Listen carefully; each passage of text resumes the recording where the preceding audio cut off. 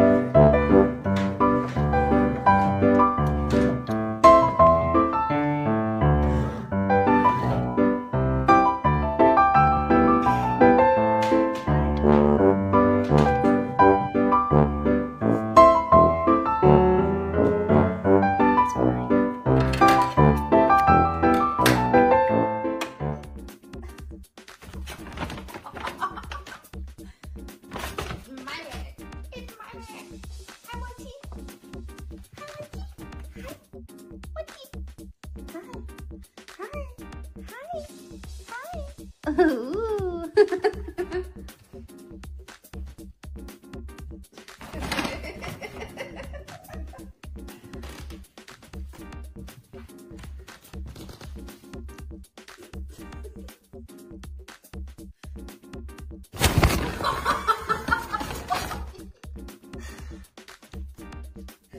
this is my bag.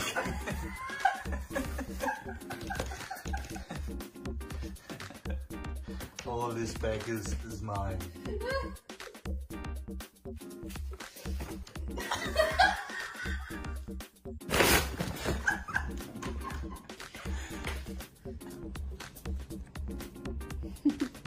what is eating?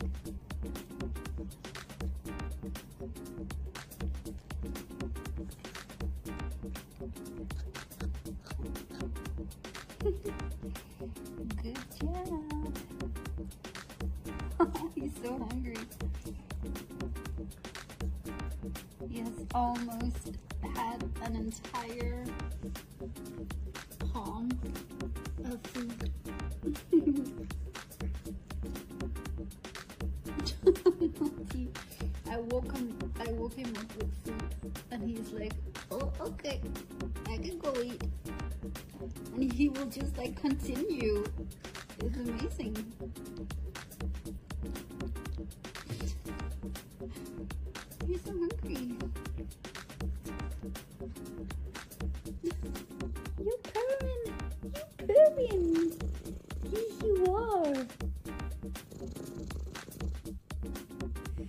listen to this beautiful sound.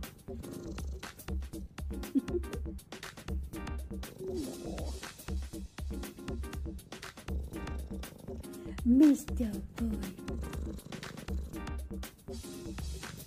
Into the camera. Into the camera.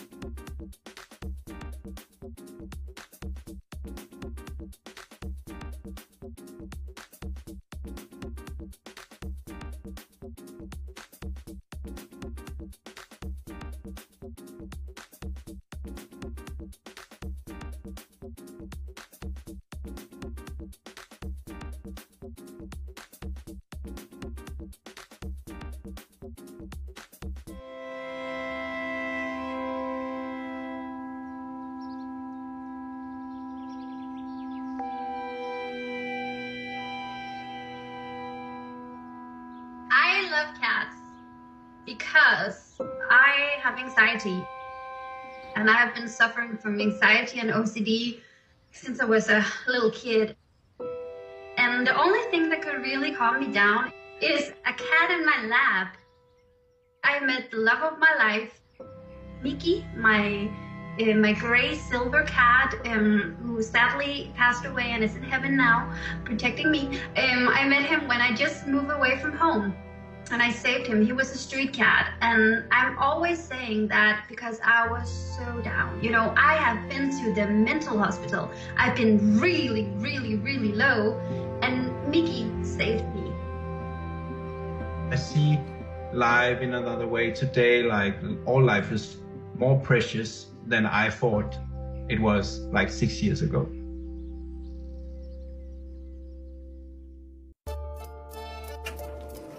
Monty was this cat that no one wanted. He was sitting in a shelter for three months. Many people thought that he looked ugly. Yeah, but- he was not like, you know, perfect cat, you know. Oh, you're so beautiful. Oh, you're so beautiful. I love you so much. You're the love of my life.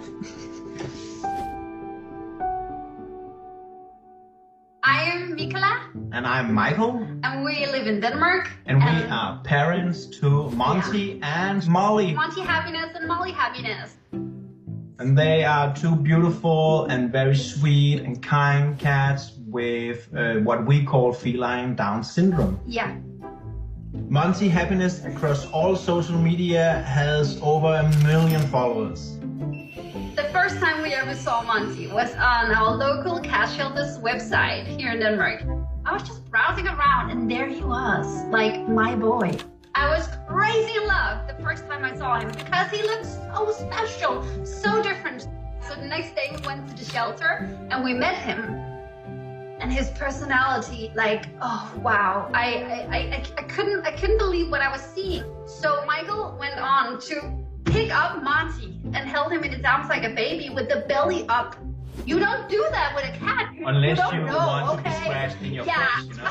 And I remember it like it was yesterday. A miracle happened right there because Monty started to knead with his paws in the air and started to purr and look Michael in the eyes and slow blink to Michael. And Monty for sure picked Michael right there. It is all about for us to tell and show people, the world, that they are perfect just the way they are. we showed the world that this chromosome abnormality, that this appearance of a cat codes for something kind and forgiving and nice. Today, cats like Monty and Molly will not be sitting in a shelter for more than a few days because people, they know that this is something special.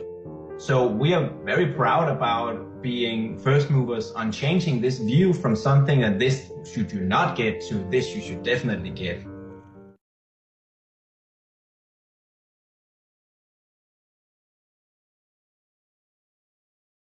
gennem hvad, det, det hele. Jeg starter herinde i vores modtagelse, hvor vi modtager dyr, som er lige er kommet. Og lige nu har vi et bur i hele vores internat, hvor der ikke sidder katte. Og jeg vil starte med at vise jer Nana her, som kom for et par dage siden. Hvor blev du af, Nana? Hun er her. Og her kan I se Nana, hun er missemor.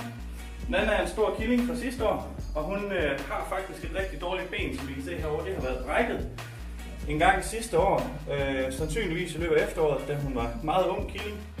Og så øh, skal vi altså have fået det undersøgt af dyrlægen.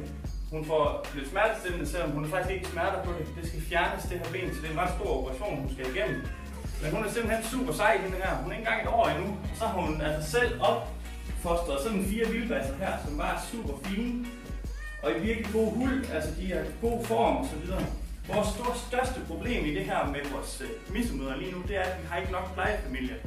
Vi mangler simpelthen nogle familier, der giver dem selv til at sige, at vi vil gerne have dem i måske et par måneder og hjælpe os med at give dem vi står for det hele.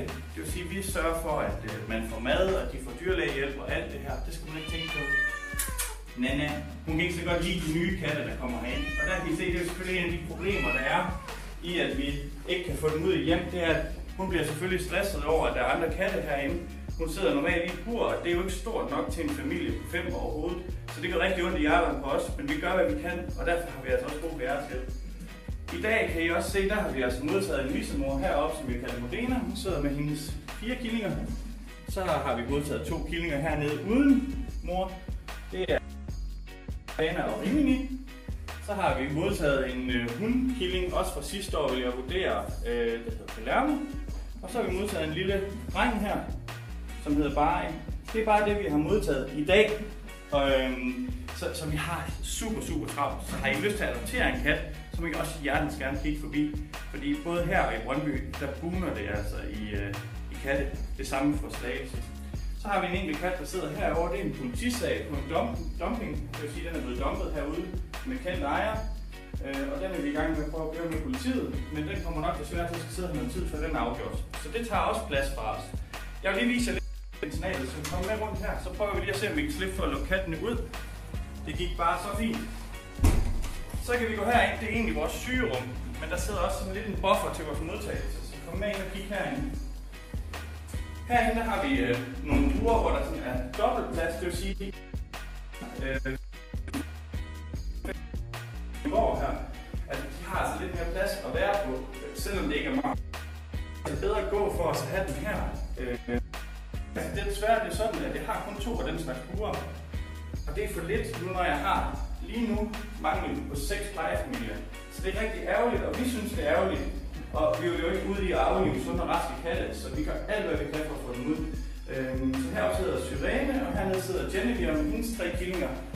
Øhm, så de er, er også klar til at komme ud i plejefamilie. Så har vi vores fire andre buer herovre. Der sidder der også øh, killinger, der skal ud i pleje. Øh, ja. Øhm, så øh, det er Jonna bag kameraet, så hvis I hører hende snakke, så vil jeg gerne sige den, for jeg... Vi går lidt videre her, for der er en dårlig forbindelse hernede tit. Øhm, så lad os læse lidt videre. Så Jonna, du må godt snakke til dem også. Hej hej. Herinde der har vi et, øh, et salgsrum. Herinde sidder der killinger. Det er et killingrum lige nu. Vi har opereret øh, tre nye i dag. Voksenrum herinde, hvor der sidder fem voksne nu, tror jeg det er. Eller fire. Øh, Tre, fire stykker, ja. Øh, ja, når jeg har været inde ved dyrlæge hele dagen, så er jeg ikke altid jeg lige er helt med på, hvor de er henne, og hvor mange der er. Men det er også fyldt, når der sidder en 4-5 stykker, så, så kan vi altså ikke rigtig putte så mange flere derinde. Øh, og de skal jo også være raske og have siddet i karantæne længe nok, før vi er sikre på, at de er raske øh, og ikke smitter de andre katte, vi har. Så øh, nu går vi lige igennem her. Her larmer lidt igennem vores ringe. Her har vi også killinger, som netop er opereret i dag. Øh, de er altså helt nye, klar til nye hjem fra i morgen af. Og øh, der herinde, der sidder der i øjeblikket ni nye killinger, der er blevet klaret. Så vi har altså rigtig mange katte, der samler nye hjem. Jeg har to øh, rum mere med katte i. Der sidder i alt på internatet nu, hvis vi tæller dem, der er i vores plejefamilie med her i Aalborg, sidder der altså 157 katte. Det er rigtig, rigtig mange. Men vores rekord fra før, alle år før i år, har været at have 129 på samme tid. Og vi har været oppe rundt 164 i år på samme tid. Vi har rigtig meget brug for jeres hjælp, så husk, har I lyst til at adoptere en kat, så ring ud og bestil en tid. Vi har rigtig mange, der gerne vil, så ring og få en tid, det er en god idé. Øh, og ellers må I selvfølgelig også gerne komme i vores åbningstid, men der kan være et tidspunkt, hvor vi er så presset, at der er nødt til at være noget ventetid. Øh, og man kan sige, det er bedre, at I kommer tilbage om en time, så ring, hvis I kan. Øh, derudover, så øh, husk, at I kan støtte os via sms fra Killing til 1919, så støtter I med 50 kroner.